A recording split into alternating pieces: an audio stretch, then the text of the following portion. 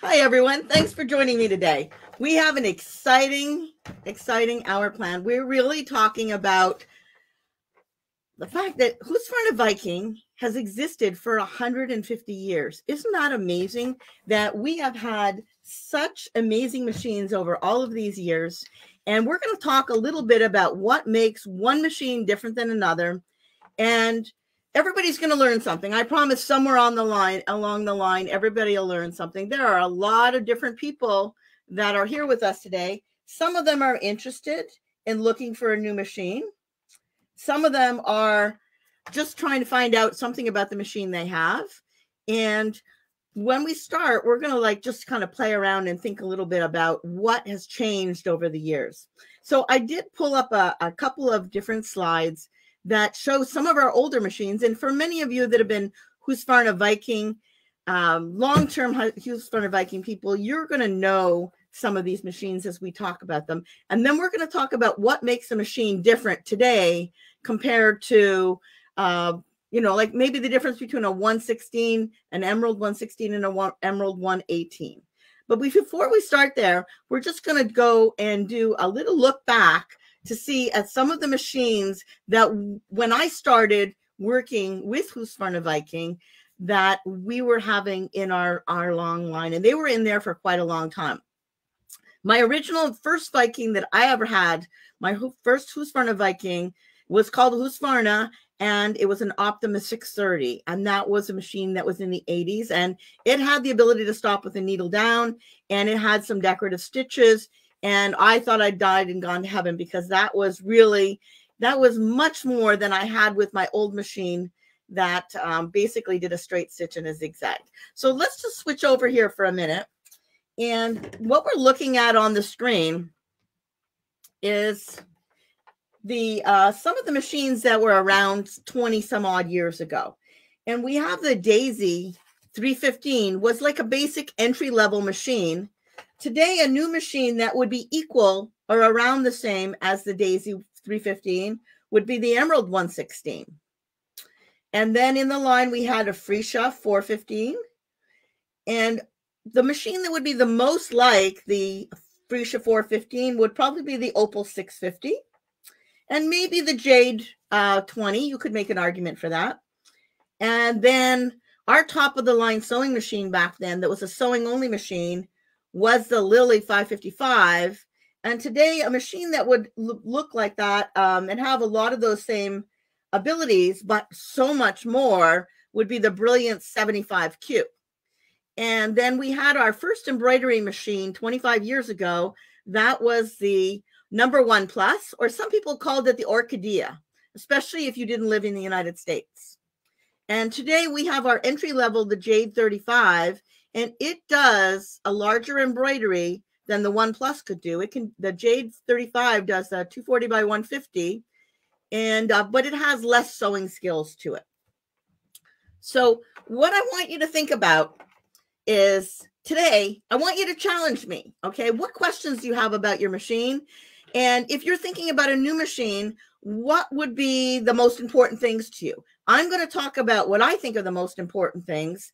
And as we go from the emeralds up into some of the higher level ones, I'll, I'll show you some comparisons and we'll talk about what makes one machine different or better than the other and what has really changed from 25 years ago to today. And sometimes it's just some basic things like our sewing machines, all of our sewing machines today, except for the emeralds, you can change the density of a stitch, which is just fabulous. Okay, so what we're going to do is I'm going to switch back over here just for a second. And we're going to go, let me just come back out here to the full screen so you see everything. And we're going to go to the next slide and see if this is the one I want right here. Oh, it's not moving. Look at that. All right, maybe it became disconnected. So we'll come back to that screen anyways and look at it. So if you know the emerald, when I pull up that that um, slide, it'll uh, it should show up, but we'll see what happens. Something's disconnected there. Um, so if you know the emerald, the emerald is the very basic sewing machine. The emerald 116 has 16 stitches, and the emerald 118 looks almost identical to it and has 18 stitches. Now, why would you have two machines that look like they're so close together, but they actually are not? There's four things that are different. One of them is the one, the Emerald 118 has a needle up down. It can stop with the needle in the down position.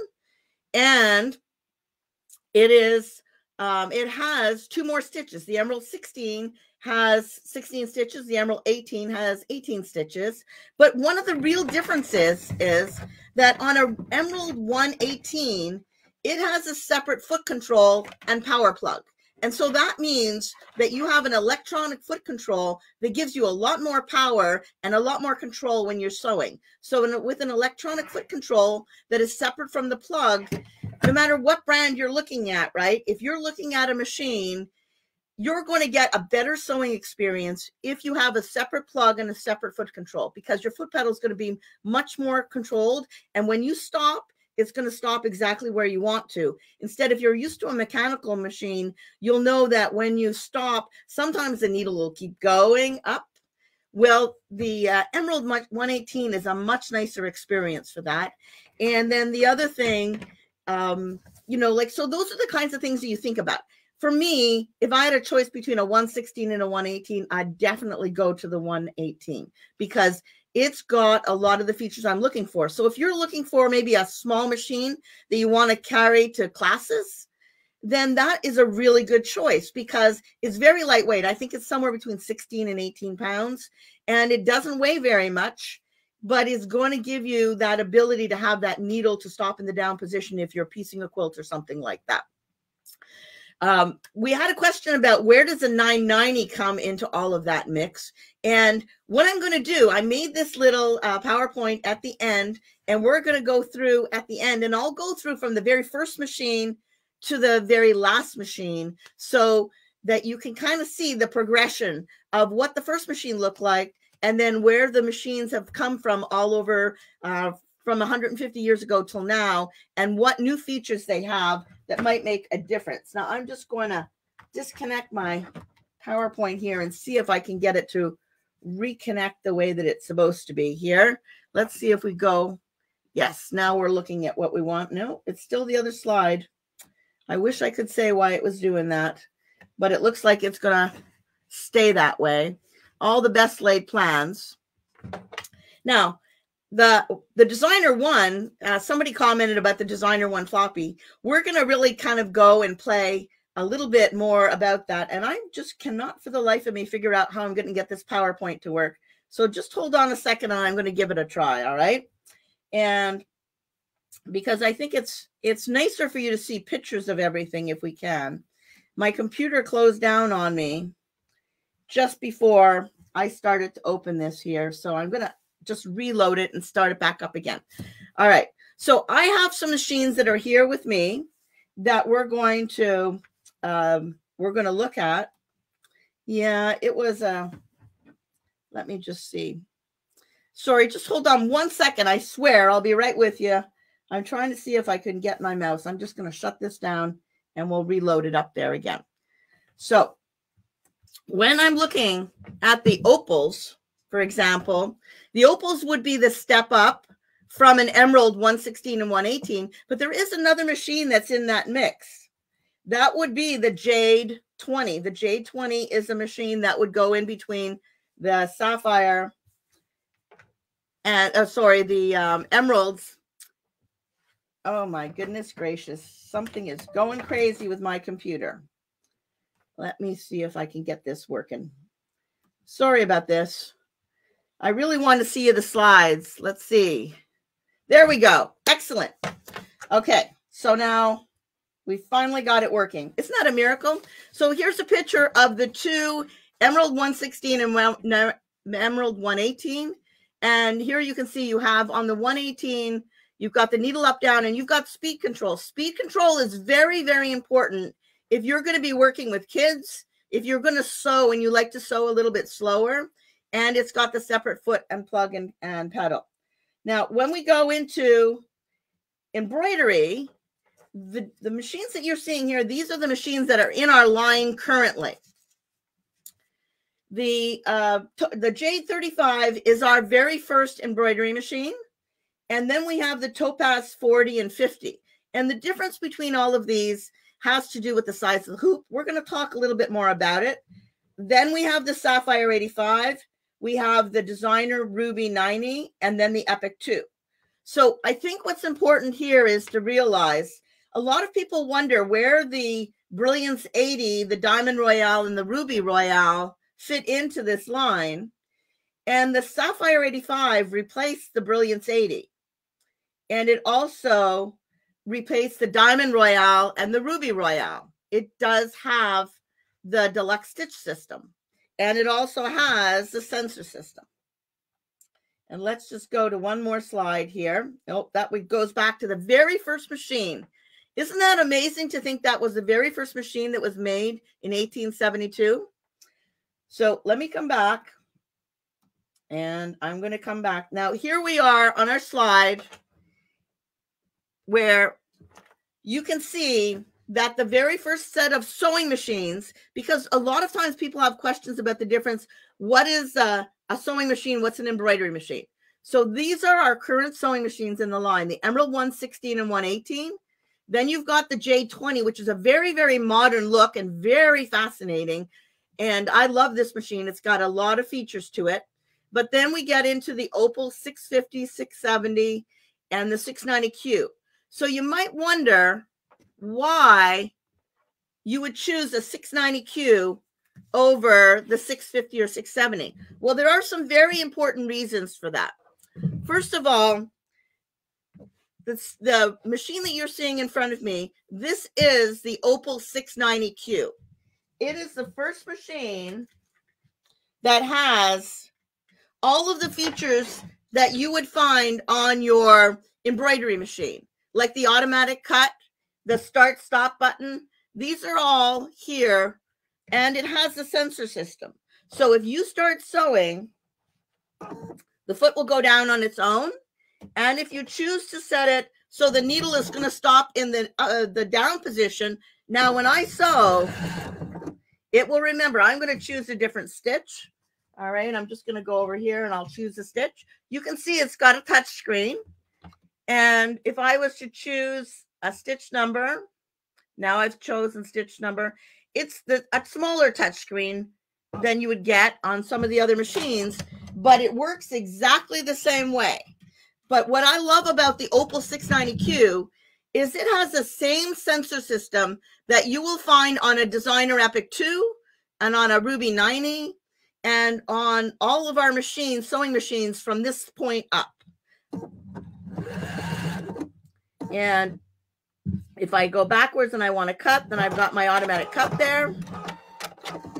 And it lifts the foot up and cuts the thread all in one step. So that's an important point to think about when you're looking at a new machine. And you have to think about what is important to me. For me, the best machine to take, if you have an embroidery machine that has a sensor system, the Opal 690Q is the best choice if you're looking for a small machine to take it to class because it's got the automatic cut and it has got the sensor system. So when you stop with the needle down, the foot will lift up automatically. You don't really have to relearn how to do everything.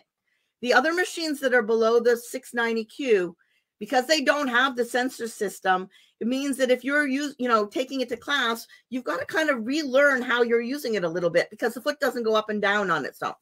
So I've got some questions coming in, and I'm actually really excited to see all these questions.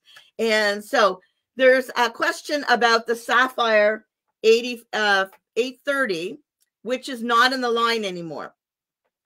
And let's look back here at this list, okay? So right now, the machines that are in the line, we go from the Opals, the 650 to the 670, the 690Q. Remember, if you have the sensor system already and you're looking for a second machine, the second the 690Q is the way you want to go. Now, the Sapphire 930 replaced the 830. Whoops, sorry, I changed my slide. The Sapphire, I'm not very good at running a PowerPoint, obviously. Let me go. There we go. I got to keep my hands off the buttons. I tend to use my mouse. So the Sapphire 930 would give you the same features as a Sapphire 830. There are some extra things that were added in there, but if you're going to upgrade, I would like this is kind of why I wanted you to think about this.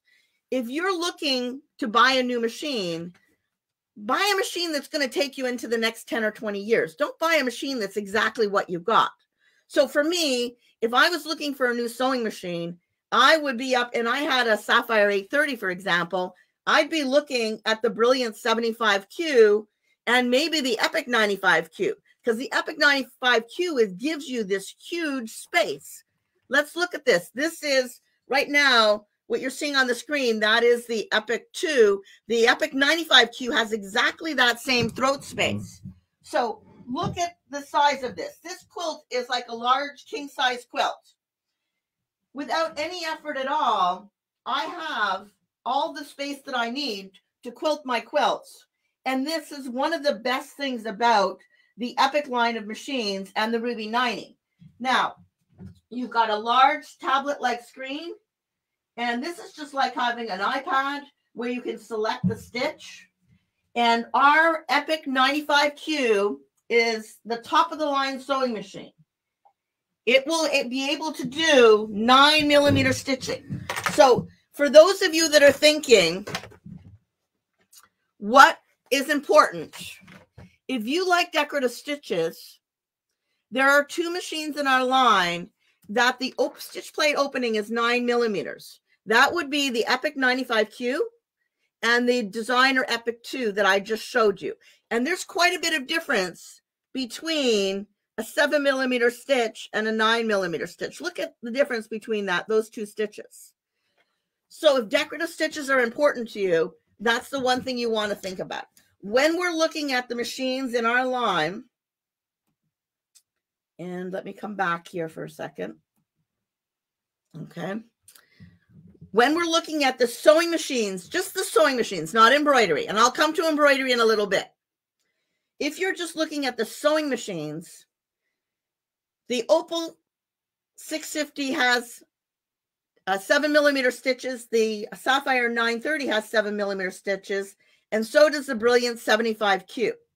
But the Epic 95Q has the stitch plate opening of a nine millimeter stitch. It also has a built-in walking foot to it. So that would be really important to consider. That built-in walking foot is like a whole new experience in sewing. So the top of the line sewing machine is the Epic 95Q. It'll give you that massive throat space.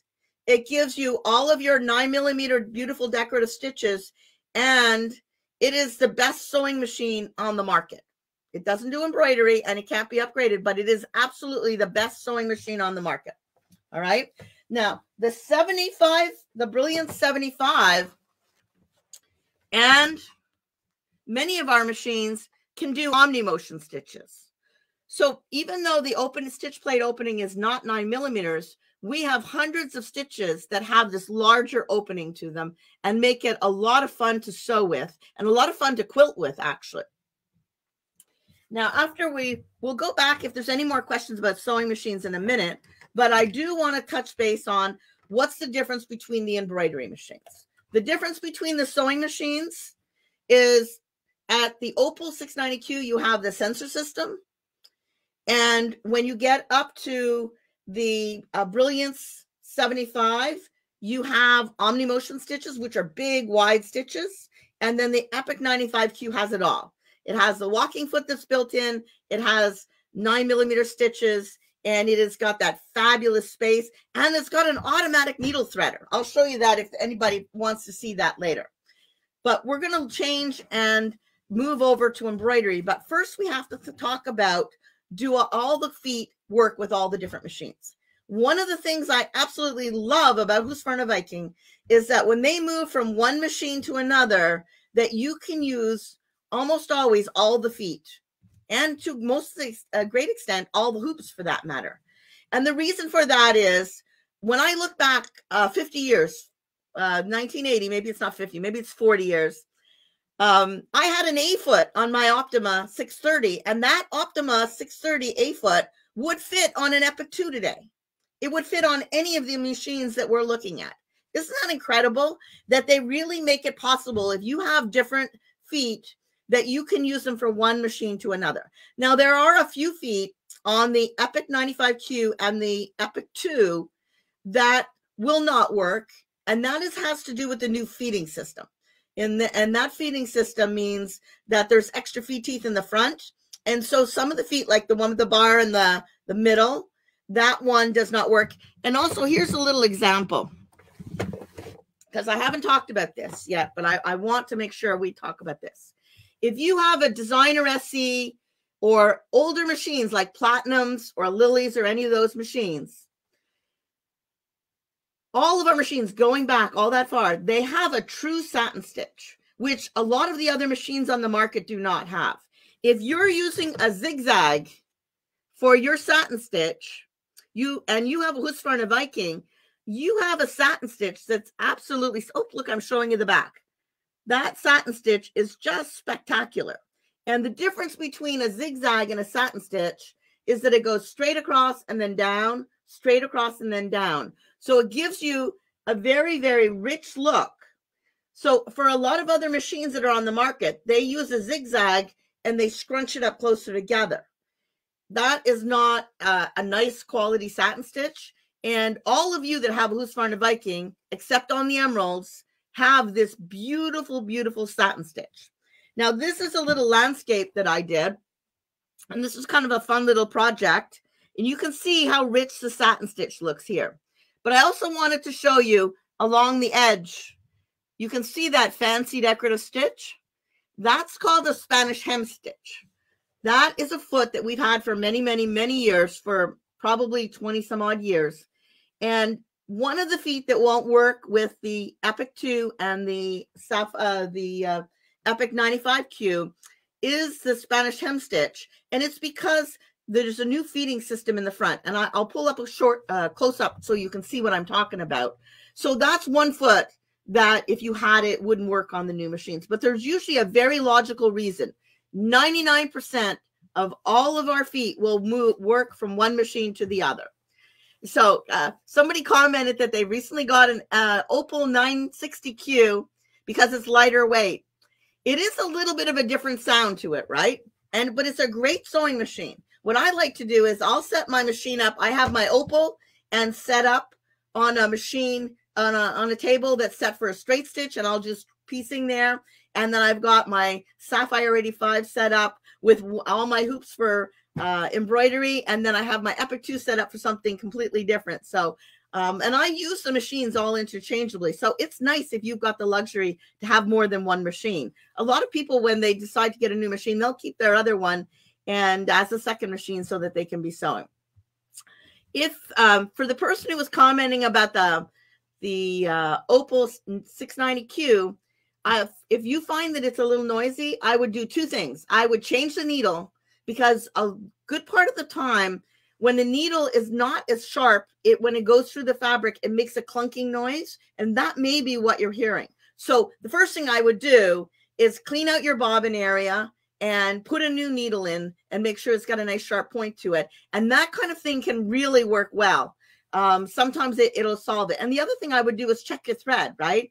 Some threads are really not meant i know people that try and sew with quilting thread.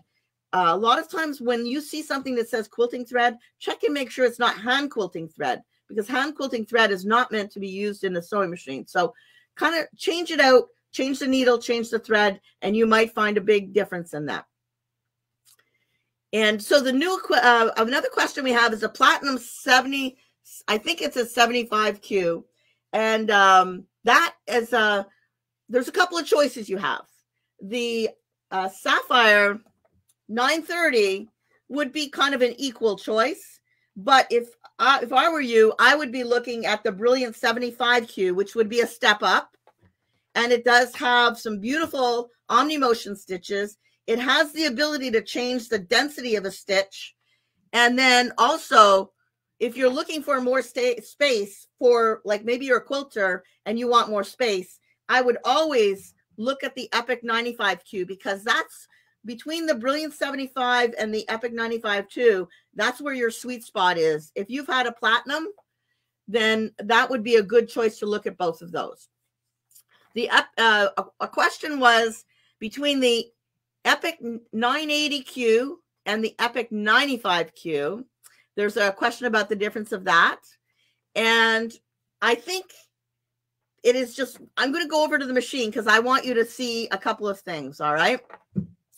So the Epic 980Q did not have, let me see if I can get in here. I'm going to just move this quilt aside. So it did have the automatic needle threader that we have, but it does not have the new feeding system and the built-in walking foot. So when you're looking, let me see if I can get this in here for you good enough. All right. On our Epic 95Q and our Epic 2, the opening in the stitch plate here is nine millimeters, and there's extra rows of teeth right in the front. You'll see these extra rows here, and that allows you for really even perfect feeding. The other thing that you have is a built-in walking foot, and I'm going to see if I can get this down for you so you can get a better look at this. All right. At the back of the Epic 95Q, you'll notice that there's a built-in walking foot now. And so there's no more reason to use the interchangeable walking foot. All of the feet that have a back that cutout in them, they all will fit on like that. And now you'll have your walking foot working all the time instead of just when you want to put it on. The walking foot is fabulous because now we don't have to take the ankle off to put it on. And it means that we can use it for a lot of sewing that we didn't use it before. I know a lot of people who they have the interchangeable walking foot, but they often don't think about putting it on because they've got to change the ankle. Because it is integrated into the Designer Epic 2 and the Epic 95Q, it's just there all the time and it's working all the time. The uh, this is so fabulous. I'm so excited to see these questions. All right. There's a question about the Scandinavia 200. Now, the Scandinavia 200 was very much like the Freesia 415. And if you're looking at, let me see if I can go to that slide, go back to where the Freesia was here. So the Freesia 415 would be like the Scandinavia 200, and the Opal 650 uh, would be equal to it. If you go to the Opal 670, you're definitely getting more stitches and you have an automatic thread cutter. All right. And the automatic thread cutter is nice. It means the selective thread cutter, when you touch it, it will uh, cut the top thread and bottom. But honestly, okay, just this is me saying this. Okay. This is not the company saying this. I would never go to the 670. I would go to the 690 because you're getting a ton of extra features. You're still staying with the same size body shape, but you have the sensor system on the Opal 690 that is not on the Opal 670. You have the automatic needle threader, uh, the automatic cutter. So when you touch the scissors, it will cut the top thread, but then you need to manually lift your foot up. That sensor system is unbelievably fabulous. So you should go into the store and test both of them. Sit down with the with your the person in the store and say, okay, I want to sit at a at an Opal 670 and an Opal 690. Let's see what the differences are. And I'll tell you the difference between the 650 is fabulous. The, the Opal 650 has uh, traditional tension where you need to change it. The Opal 670's got automatic tension. So that's a perfect reason to choose that. But if you haven't sat at a new machine for a while, honestly, you should be looking at the Opal 690. They're all in a really reasonable range, price range. And the, that Opal 690 having the sensor system, the automatic tension, and the automatic cut are really it's, it's worthwhile considering that okay there's a reason why they have three um, machines in the line the 650 does not have automatic tension where the 670 does and so there's some things for you to think about but the best idea is to go into the store and start, you know, sit down at each of the machines, bring in the material that you think you want to work with, especially if you like to work with different things. We have a question about trading in um, older machines for newer machines. And I can tell you from my experience being out there in all of the stores, almost all the stores will take trade ins. Now, whether you'd feel like you're getting enough value for that trade in, that's a personal choice. Like maybe you decide they're going to offer you $50 for your machine. Maybe you just assume keep it and give it to your grandchild or somebody else you know. It's a, it really becomes a, a personal choice at that point. But definitely go in and talk to your dealer because they will say, Yes, of course I'll do trade ins. And this is what we're going to give you. And what machine is it you're interested in? Because sometimes if you're considering a machine like an Epic 2, they might give you a more generous trade in than if you're just kind of going from a, a, low end to another low end machine. So that that can make a big difference in how much you're going to get for a trade in also. Every store's got a different policy and it's really important that you talk to the dealer and you know really talk to them about what it is you're interested in check out their class schedule and what they do for classes now that things are opening up again that's getting a lot easier to do okay we have another question about the brilliance 80 and she loves it and she wants to do embroidery machine wait a second here wanted the same embroidery style machine with a built-in walking foot well so the exact trade-in for a brilliance 80 the exact level would be the brilliance 75Q that you're seeing here, right? That would give you the same sewing machine, but it won't give you the built-in walking foot. There's only two machines that we have that have the built-in walking foot. And that would be the Epic 95Q and the Designer Epic 2, which is the embroidery machine. So if you're looking for a sewing machine that had the built-in walking foot and has that larger space, look at the space you have, then definitely go in and test drive the 95Q, the Epic 95Q, okay? And let's look at, is, if there any other questions before I keep going? I just want to see what this next slide is here. Now, let's talk a little bit about embroidery because I know many of you are moving or thinking about moving from a sewing machine into embroidery, or you're considering going from one embroidery machine to another. So before we go too far, if the Jade 35 is an entry level embroidery machine. It does a 240 by 150 hoop. And I think I had one of those here, but and uh, so it's it's a nice size. It's six by 10 inches, and it's got a lot of nice stitches to it too. It's it's you know it's a pretty good machine to uh, get into embroidery with. But if again, if you're asking me, and you are, we also have the Topaz 40 which has some extra stitches to it and some really nice features. It has the same size embroidery as the Jade 35 does. But my preference, without a doubt, on the Topaz line is to go to the Topaz 50 because the Topaz 50 has a touchscreen and it also has basic design positioning, which lets you be able to take uh, do end edge quilting and to do larger embroideries and have them all lined up.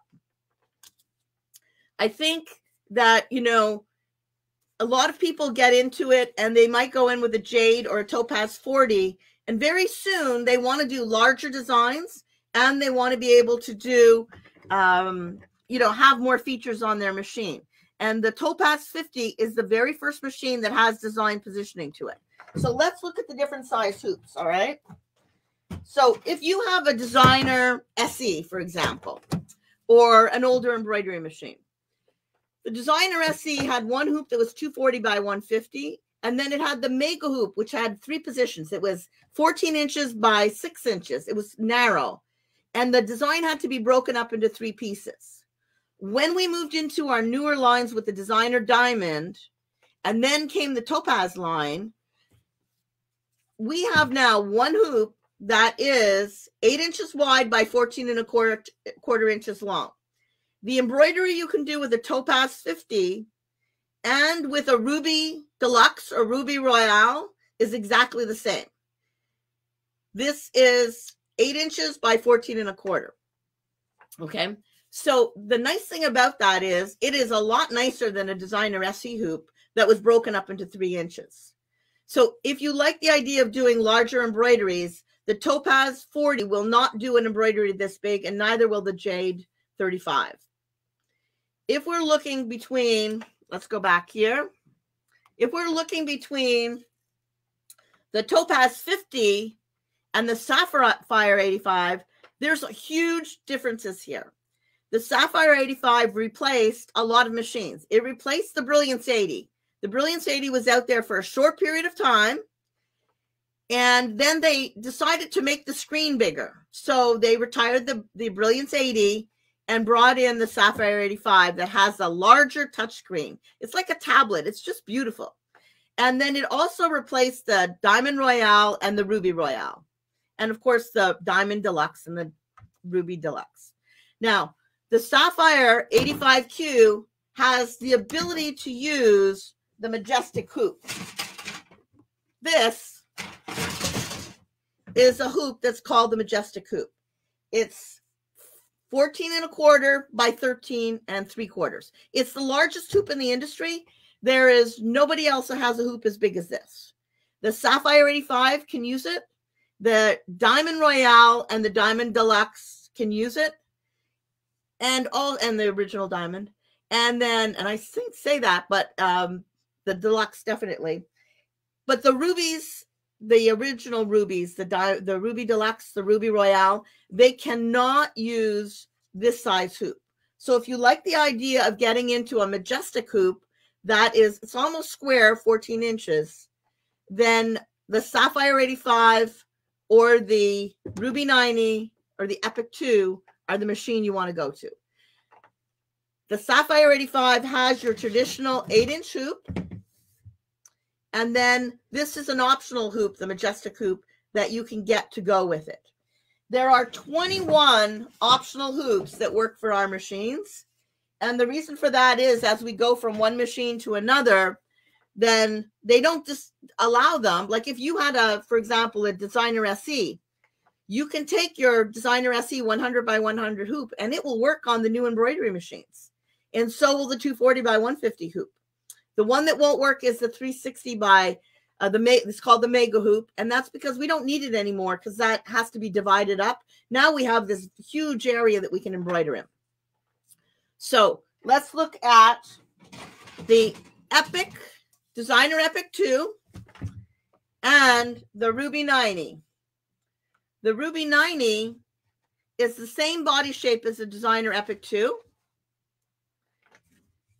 It has the same ability to do embroidery and it can use the Majestic hoop. And more importantly, it can use a 10 inch wide hoop by 14 and a quarter. This is all one position. You can do absolutely fabulously huge designs working like with this size of hoop.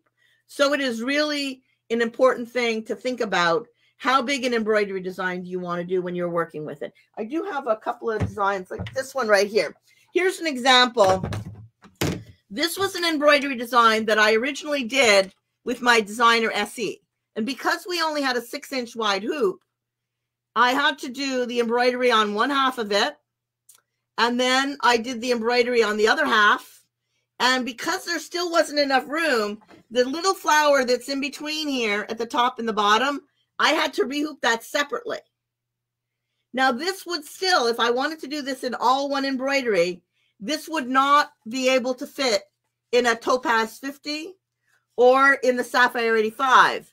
But because the Epic 2 and the, the Ruby 90 have this large hoop, you can see this would be a piece of cake to do in here, right?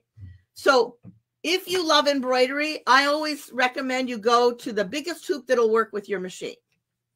Okay, let's see what else we've got going on here. We have a question about the multi-needle. You know, quite honestly, I did um, play around with the multi-needle for a while when we had it. I did not check that. And I, I don't believe that we still have it in the lineup, but I could be totally wrong. So what I'm going to do is I'm going to get Meredith's look on the website and see. And the website's a great resource, right? When you're trying to find information. What I love about that is, and I printed off a copy of this myself just to see. For every machine, if you're looking at a sewing machine or you're looking at an embroidery machine, there's a comparison chart.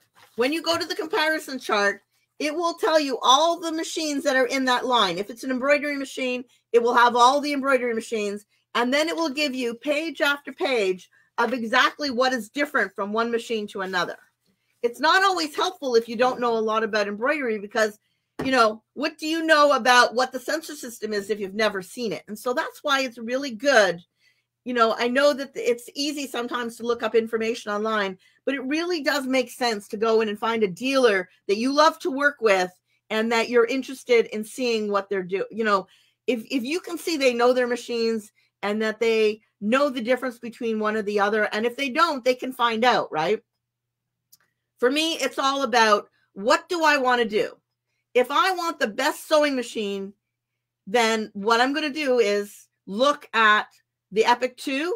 And if I think maybe that's more than I want, then I'll go down to the a Brilliance 75Q. If I'm looking at the embroidery, I'm going to start looking at the top, which would be the Epic 2. And then if I decided that maybe it's more than I need, then that's where you're going to go down. You can say, all right, I want to look at the Ruby 90 and what's different about the Ruby 90 and the Epic 2. The biggest difference is the Ruby 90 does not have the built-in walking foot. It does not have the laser. And I'll show you the laser in a moment for those of you that want to see it. It does not have the nine millimeter stitches opening for it, right? But the body size is the same. So maybe you're not much of a sewer and you want to be using your machine mostly for embroidery. The Ruby 90 might be a really good option for you because the new features that are on the Epic 2 are especially fabulous working with um, in sewing because they have they're all features that somebody that's sewing garments different fabrics quilters they would absolutely love and adore Okay. So uh, Meredith did answer me. Uh, wait a second here. Just let me answer.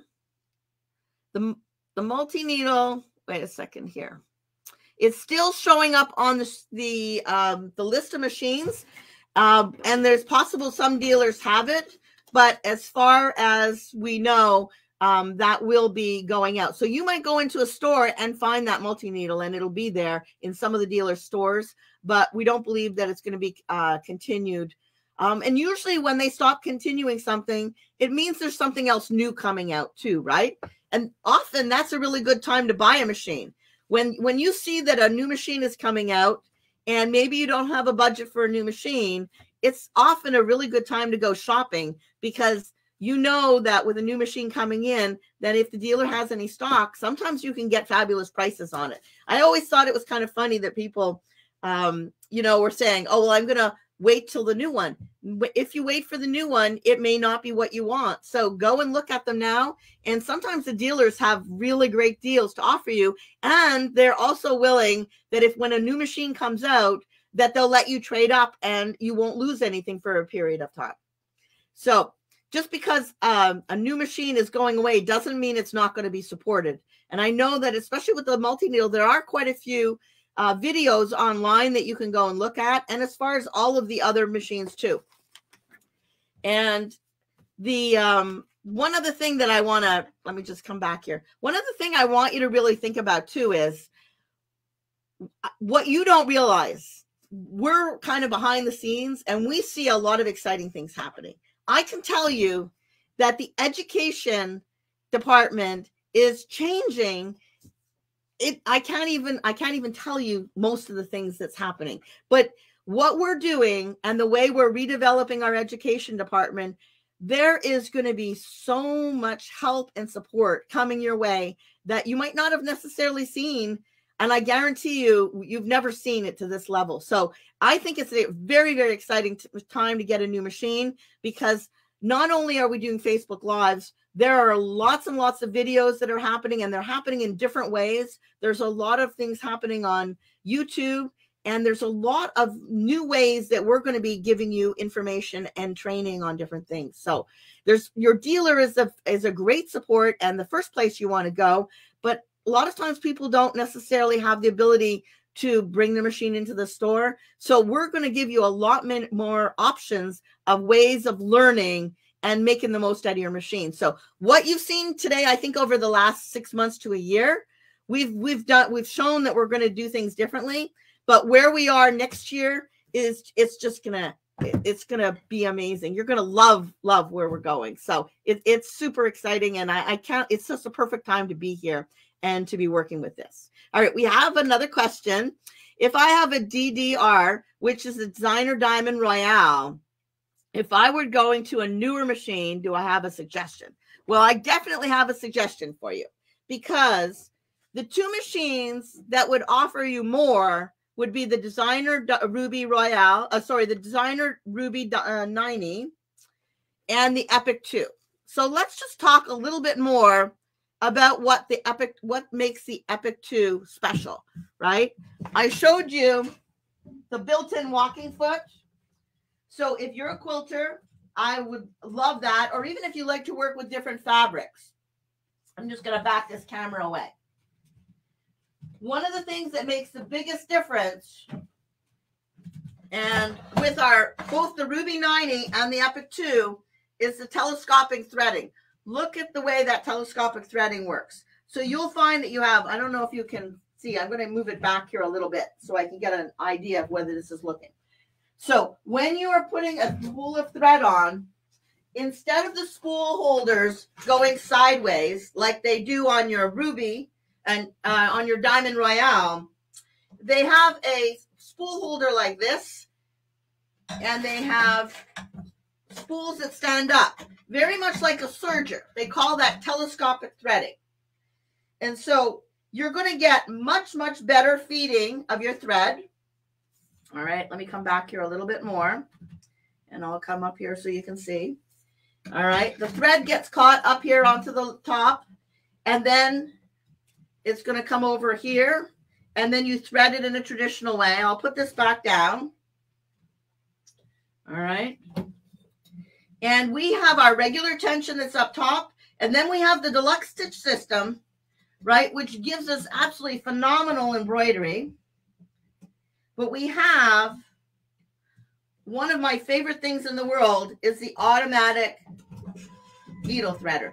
So right now that threaded my needle and I can just take my thread and put it underneath. But if you're going in embroidery, you wouldn't even touch it. You would just let the thread go and you would, it makes it faster in embroidery. So if you have the choice, if you have a chance, I would definitely go in and check out the Epic 2. And the Ruby 90 is less expensive than the Epic 2. The Ruby 90 does not have nine millimeter stitch opening. It, it does not have the built-in walking foot and it does not have the laser. So with the laser, say you're doing parallel stitching, quilting and stuff like that, you it will bring you rows and rows of completely parallel stitching. And the laser, I, I've used it all the time. You know where I found the laser worked them absolutely most amazing was when you're sewing two pieces of binding together. You know how you flip one on the other and you need to go from the point to the point? I I've never done such a perfect do- job of sewing binding pieces together working with that laser. And I'll go over there in a second and just show you what that looks like. So the main difference in embroidery, the Ruby 90 and the Epic 2 are very similar. But the uh, Epic 2 has more stitches. It's got the built-in laser, the built-in walking foot, and it's got a nine millimeter stitch opening, which you saw those stitches, how beautiful they were, right? So let me just see. Look at look at how much of a difference it means. Your average every stitch, when you're looking at them, that's a huge difference in decorative stitches. So if you like to use your decorative stitches, then you know consider the epic 2 wait a sec i'm going to go back to this one. Hold on. I'm going to get some fabric and we're going to come in here. Now the laser all right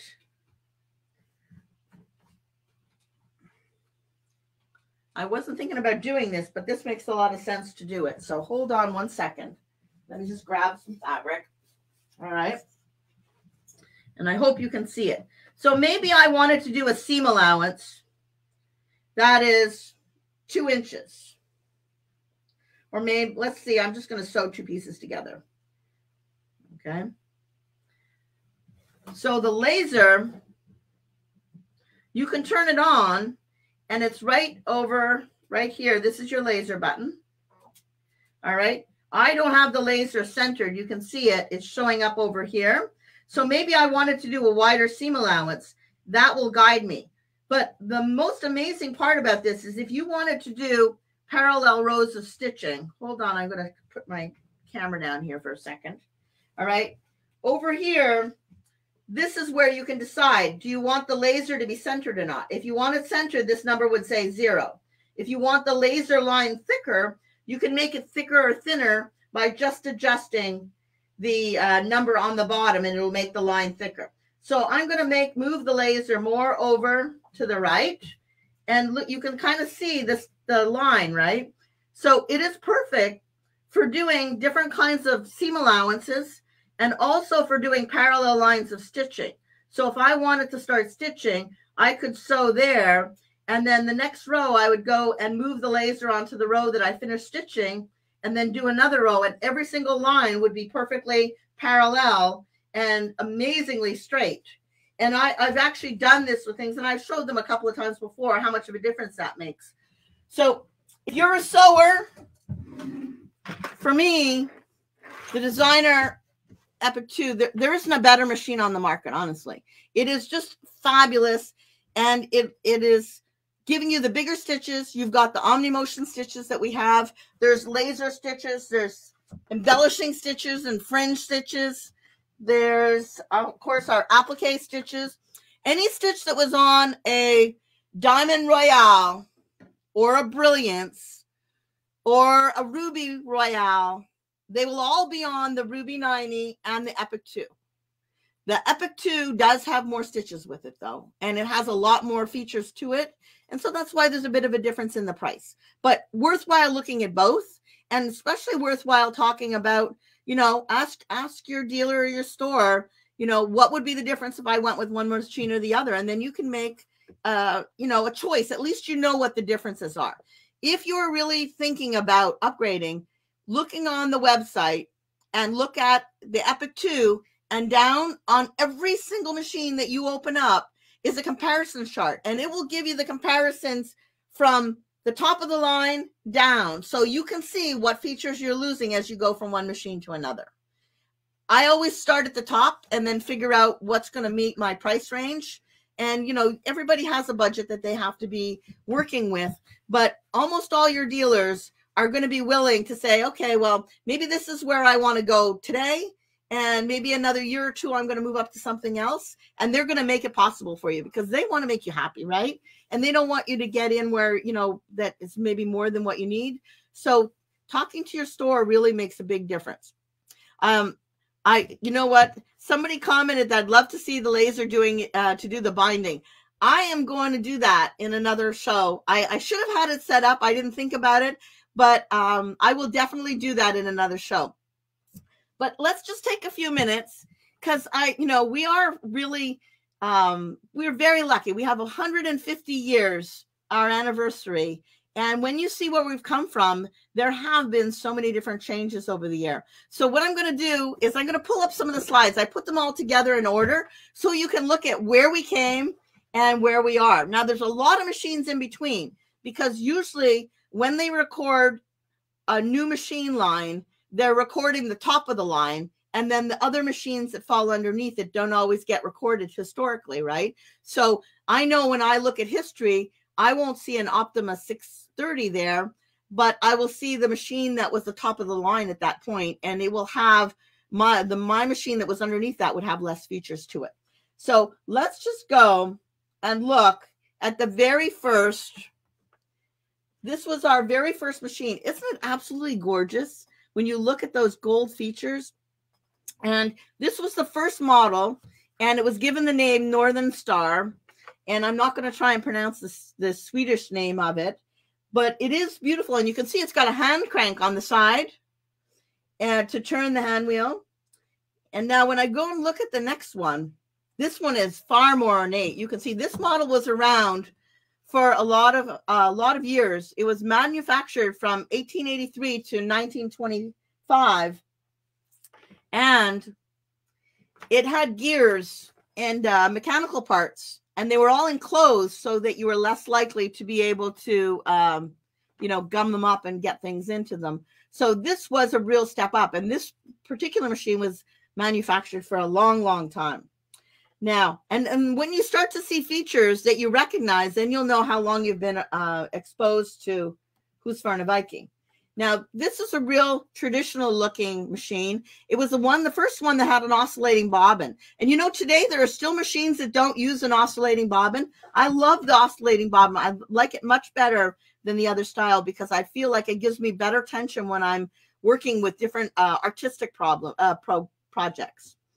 And this was born um, it dominated the world market for more than 50 years. So that again was for a long time. It was created in 1903. The next machine was introduced in 1947. And these are basically the different steps. What changed from one level to the other? This was the first free arm machine in 1947.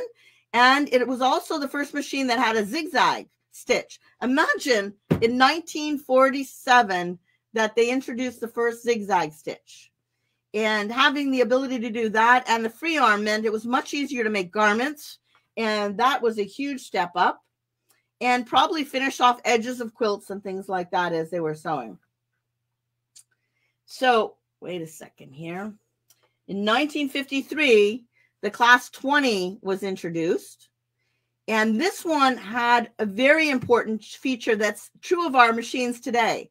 We have a jam proof hook, which means that as you're sewing, you can sew off the fabric and you won't jam up uh, the bobbin and mess it up. And that doesn't work uh, with all machines. That's something that we've been famous for since 1953. The other thing is that it didn't need to be oiled. And that was the very first model that came out now, this also was, it weighed like a tank. It's very heavy. And you can imagine the uh, metal outside, how heavy these machines would be. They would be heavier than our machines that we have today. Even our Designer Epic 2 would not be as heavy as this.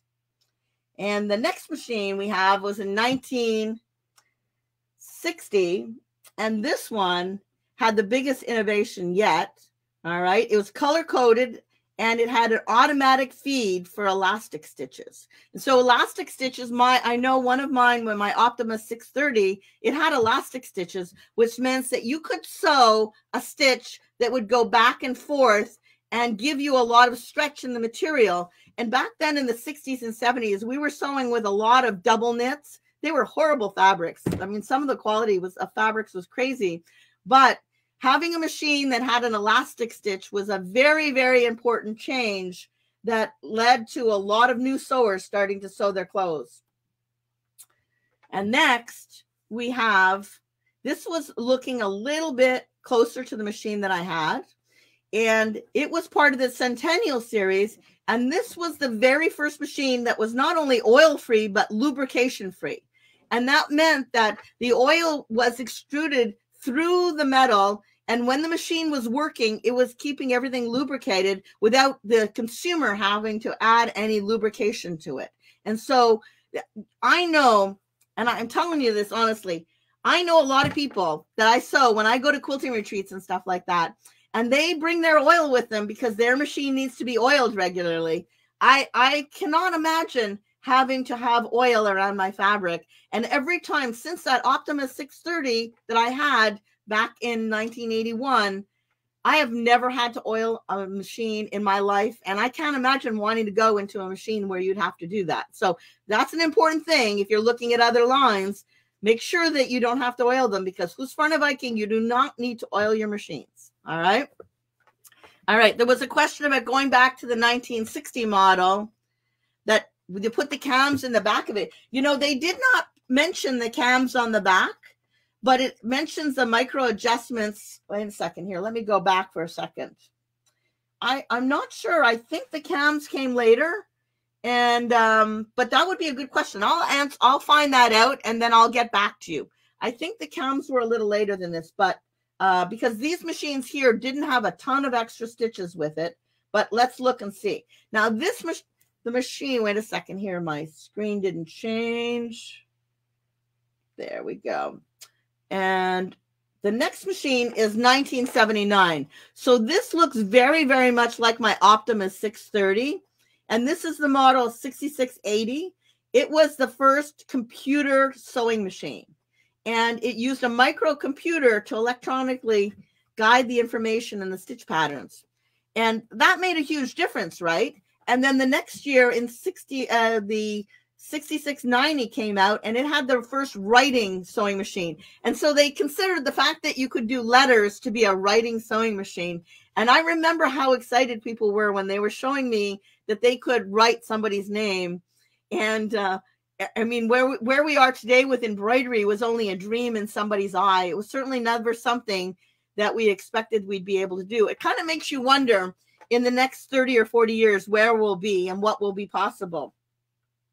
All right. And then we've got our 1994, we had the number one plus called the Viking Orchidea. And this was an extraordinary machine. It was the first machine that allowed us to do embroidery. It had one, one touch directional stitch sewing. It had our sewing advisor. This is our first machine that had the sewing advisor, and there you can select the fabric.